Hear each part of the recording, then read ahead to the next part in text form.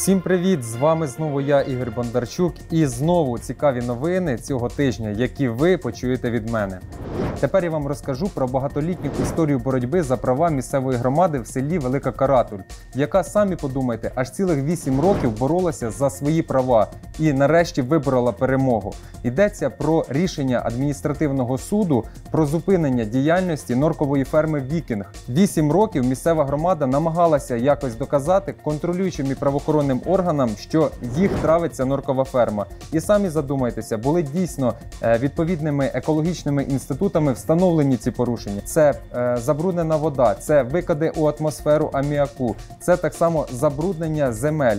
І це, в свою чергу, спричинило величезний скандал та суспільний резонанс, який приводив до того, що місцеві мешканці були змушені перекривати автошляхи. Вони були змушені проводити ряд заходів та рейдів інстанціями контролюючих та правоохоронних органів. І ми змогли спільно із екологічними інституціями, а також адвокатським об'єднанням Екобезпека захистити права та інтереси місцевих мешканців. І хочу сказати наступне: що кожен з вас, хто стикається із такими проблемами, ви вже знаєте до кого звертатися. А тепер питання до всіх: чому ми, гуманні й демократичні люди, використовуємо хутро у 21 столітті? Мені здається, що використання хутра це є пережитки минулого.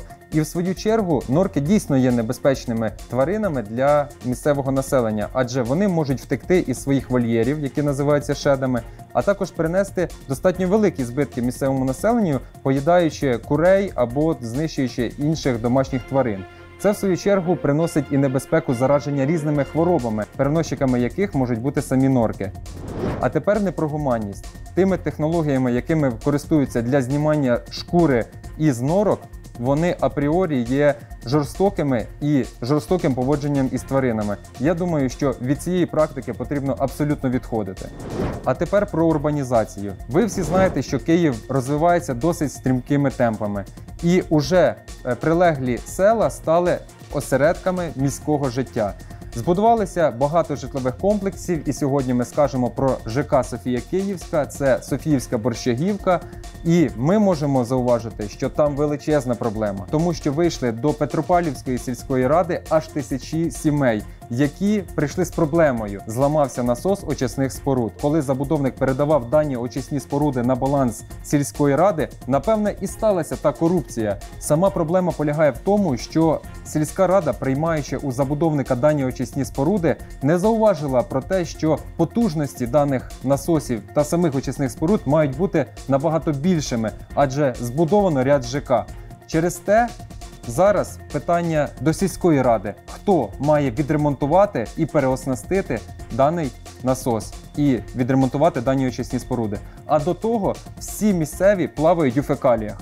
І хто в цьому винен? Напевне, Скуратовський, якого всі місцеві мешканці, а також сам ЖЕК звинувачує у таких зловживаннях.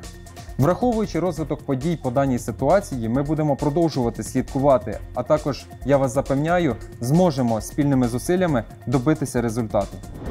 На цьому тижні у нас сталася мега крута подія. Тепер про неї ми будемо говорити цілий рік. Ми змогли піднятися на гору Говерла.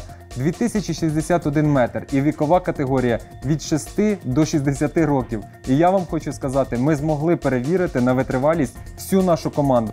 До нашого підйому долучилися територіальні підрозділи, активісти, сім'ї, наші сім'ї. Ми змогли піднятися і показати всім, що ми дуже крута і витривала команда. Долучайся до нашої команди. Ти сам бачиш, наскільки вона потужна і перспективна. Ми змогли покорити Говерлу, а з твоєю допомогою зможемо покорити і всі інші висоти.